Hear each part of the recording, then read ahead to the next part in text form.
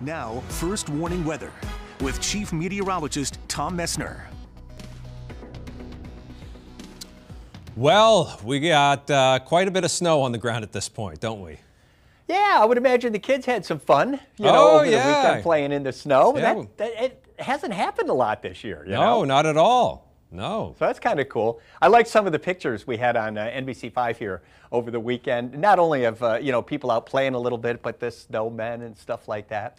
That was kind of cool. Hey, uh, pick your spot, take a look. We've got temperatures all over the place as we continue to kind of uh, e- expand the information on our weather maps around here. Like Whiteface Mountain right now, 15.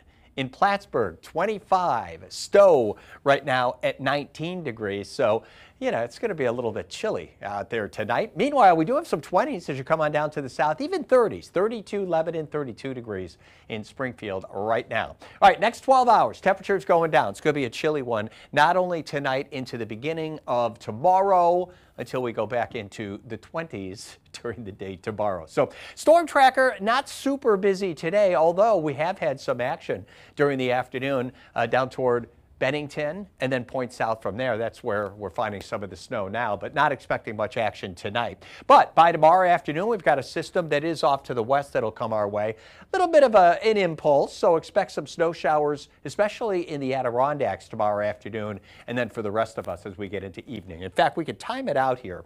This is Futurecast, 7 o'clock tonight, not much going on. In fact, the clouds kind of thinning from time to time. Not real thick clouds right now over the Champlain Valley. First thing tomorrow, maybe a little bit of sunshine, especially on down to the south. But as I kind of pop you into later in the afternoon, this is 5 o'clock, while we could see just a couple of snow showers in northern Vermont, I think most of the action will be in the Adirondacks during the afternoon until evening time. And then during the evening and the overnight, I think we'll find some snow showers around. Now keep in mind, certainly most of this action over the next few days, because we're going to see on again, off again snow, is going to be in the mountains. And here's a good example. This is Wednesday.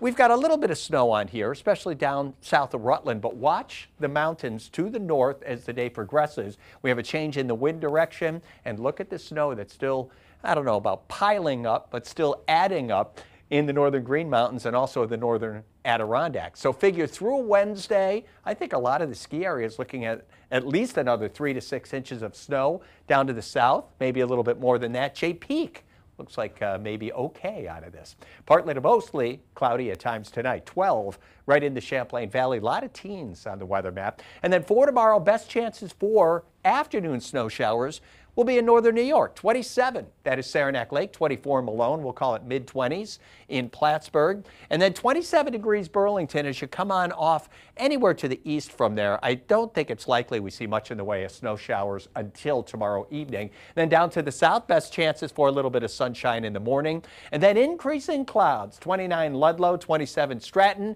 We've got some snow for you guys, especially later in the day. All right, 27 degrees tomorrow.